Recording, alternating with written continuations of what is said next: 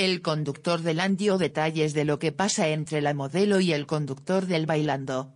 Marcelo Tinelli y Zaira Nara despertaron rumores de romance luego de su fogoso cruce en el Bailando. Por este motivo, los usuarios de Internet corrieron a preguntarle a Ángel de Brito si era cierto esta pareja.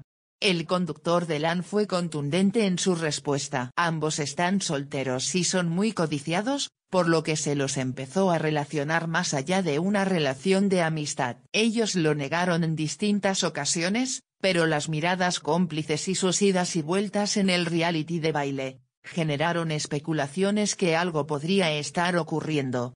Todo comenzó cuando la modelo le recriminó al conductor que estaba muy cerca de Milet Figueroa. A lo que Pampita dijo, a mí me da como que Zaira está celosa de Milet.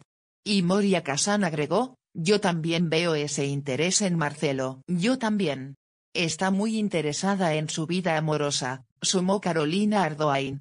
Cinelli dijo que eso no podía ser, ya que ellos nunca se vieron de una manera especial, más allá de conocidos. Es una amiga, sostuvo. Zaira, siguiendo la línea de su compañero, aclaró su postura, claro, yo soy así, me gusta ver bien a mis amigos solteros.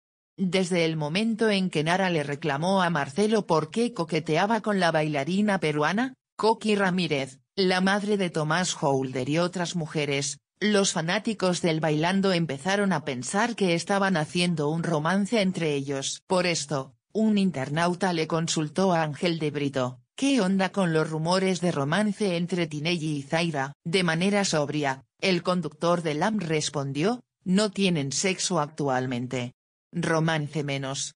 Aunque ese actualmente dejó una puerta abierta a una relación.